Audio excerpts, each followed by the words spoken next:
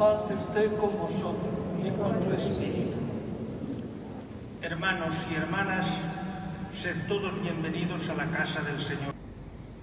Asimismo, saludo cordialmente a los sacerdotes que concelebran esta tarde, que son del, uno de Brasil, uno de Ciudad Real, un italiano y uno de Argentina. Preside nuestra Eucaristía el excelentísimo y reverendísimo señor don Julián Barrio Barrio. Arzobispo de Santiago de Compostela.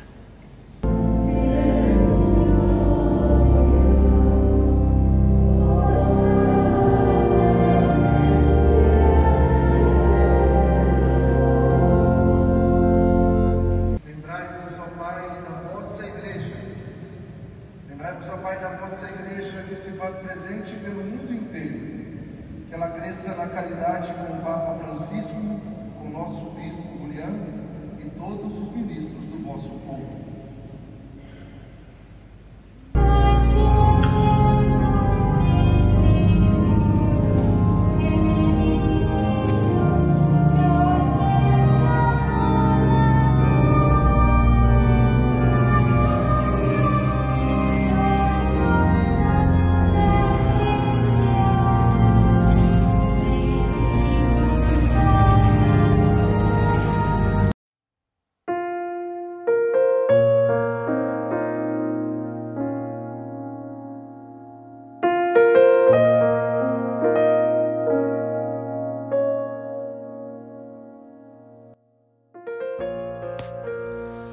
É as lições do caminho, né? Esses quase 30 dias caminhando, percorrendo várias cidades, vários vilarejos, sol, chuva, muito frio, é, sofrimento, dor, alegria, fome. Tudo isso valeu a pena, sobretudo porque certamente fazer o caminho de Santiago nos leva às mais profundas indagações, nos leva a fazer uma introspecção e chegamos assim, quando fazemos uma introspecção, a várias conclusões. Conclusões que eu chamo de lições do caminho. Uma delas é exatamente essa. Os mortos não são os que já morreram ou partiram deste mundo para a eternidade. Ao longo do caminho, nos deparamos com várias sepulturas, com vários cemitérios, e a gente passava em frente, quase que passávamos por dentro de, de alguns cemitérios. E eu ficava pensando exatamente isso. Quantas pessoas que viveram, morreram, estão aqui enterradas, sepultadas. E aí me vem uma seguinte reflexão: mortos não são os que já morreram ou partiram deste mundo para a eternidade. Rezemos pelos mortos que ainda estão neste mundo, que ainda estão nesta terra. Os verdadeiros mortos são aqueles que não conhecem Jesus Cristo. E esses são muitos. Próximo dia 2 de novembro nós vamos rezar pelos mortos, é o dia de finados, é um grande feriado. Preciso que você entenda isso. Que neste mundo existem muitos mortos. E esses são aqueles que não conheceram Jesus Cristo ainda. Que não conheceram o caminho, a verdade e a vida. Mais uma lição no caminho. Nós vivemos uma sociedade de aparências, onde o que importa é o que aparenta ser. A roupa que usamos, o carro que temos, a casa, a fazenda, o apartamento e etc. Meu irmão, o mundo de aparências é uma tristeza. Até a religião. Muitos vivem uma religião de aparências.